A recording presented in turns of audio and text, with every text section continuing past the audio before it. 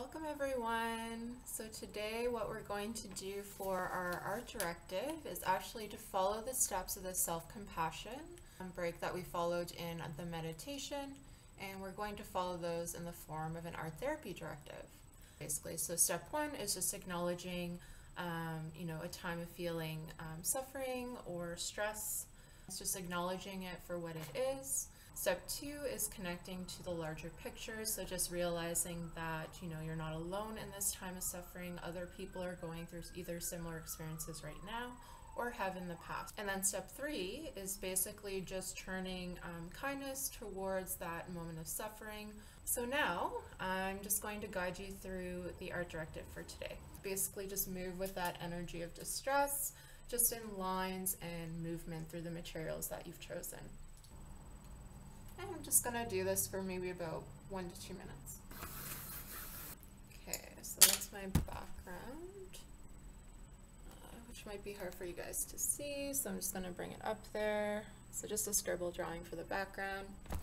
And then, now that we've energetically acknowledged um, yeah, just the stress that we're experiencing at, at this moment, now the next step is actually labeling and naming what is causing you stress. So let's just take a moment just to empty our minds onto the paper, just any words um, that pop into your mind in terms of what's causing this distress for you at this time.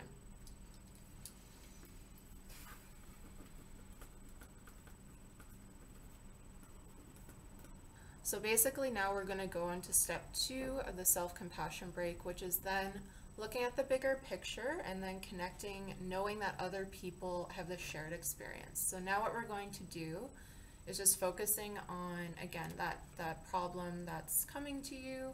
Then you're going to be focusing on, yeah, how does it feel to connect with that, knowing that there's other people experiencing that? What can you symbolize to know that that connection is there?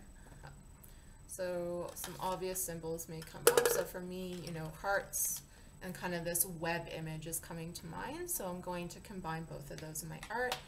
Um, and then this time I'm going to do a bit of a darker, um, heavier material. So moving to markers now.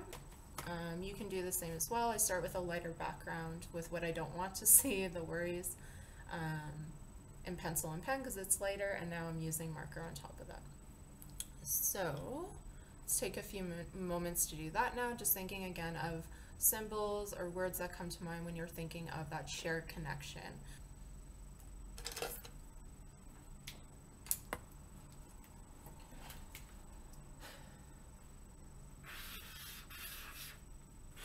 Is meeting these experiences with kindness for ourselves. So I'm going to think of a symbol that can remind me to always um, greet these moments of stress or difficult times um, with love and kindness or it could be kind words or messages to um, direct to yourself in these times of distress. So let's do that now.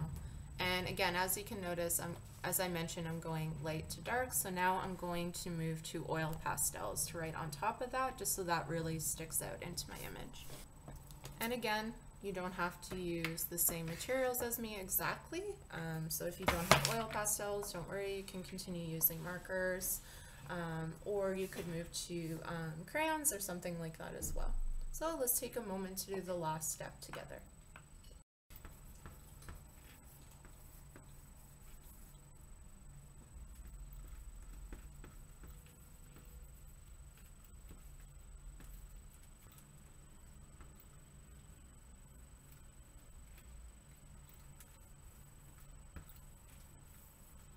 Now I'll invite you all to just take a moment to reflect on what you created and maybe just jot down a few things that you noticed. Um, so I'll share some things that I've noticed here just to give you an example of what you could look for. Okay, so as you can see here, what's really coming to me um, is, yeah, just, you know, getting into my inner resource and resiliency, which I denote through a whale, through symbolism. Um, two key messages kind of came up um, in terms of, you know, um, helping me reset my mind frame um, and my abilities to get through this time um, and connecting with my inner resources. Um, so I have the two phrases, this will change, and every day is a fresh start. And I'll be posting another video next week for you guys all to try out as well.